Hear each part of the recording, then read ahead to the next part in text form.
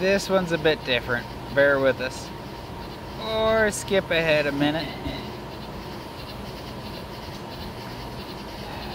Strange, strange person.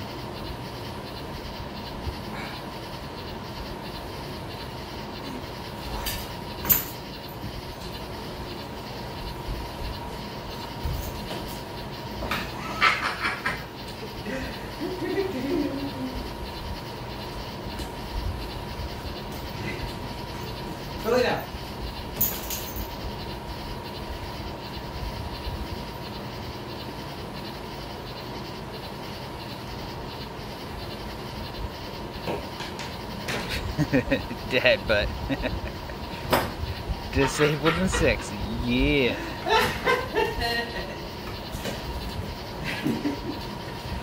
Alright, that was fun.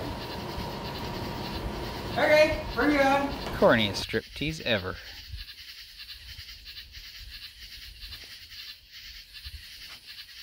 One of my ongoing projects is to build a prosthetic for myself. All my previous attempts have started where everyone seems to start. The hand end.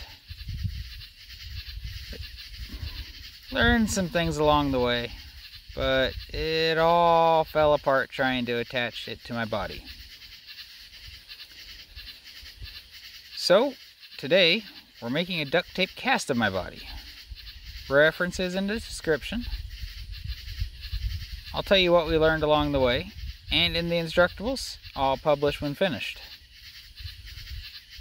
Remember to like this, subscribe, and check out my instructables, link below. This is the first time we did this. The plastic wrap was instantly hot. Glad we set up a fan and water. It took us about an hour, so plan plenty of time.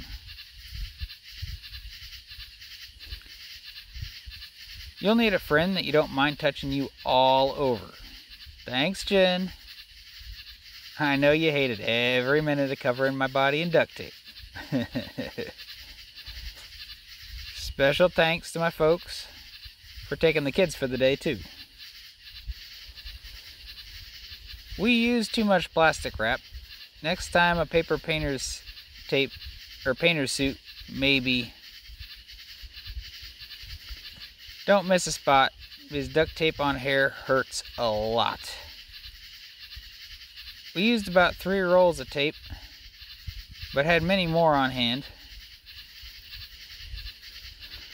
Don't wrap your victim too tight. We don't want to restrict breathing. On that note, hold a lungful of air when each piece of tape goes on. By the end, I only had about half a lung of breath room left. Also, remember to pose in the position you want your form to be in. In the end, like your mom told you, stand up straight.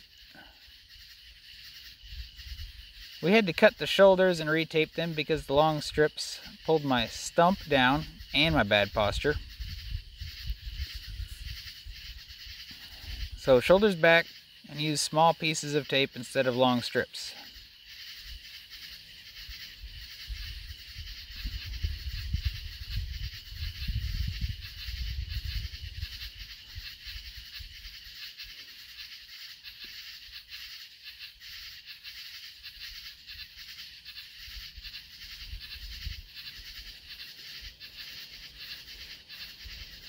A number of uh, dress form tutorials using expanding foam commented that the foam makes a circular form of the body.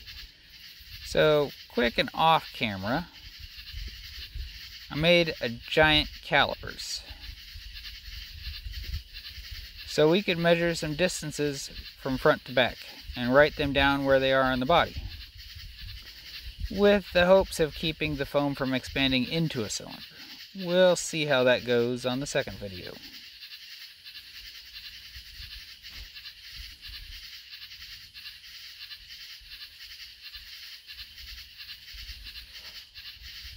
Scissors are sharp, so be very gentle cutting the tape away from your model.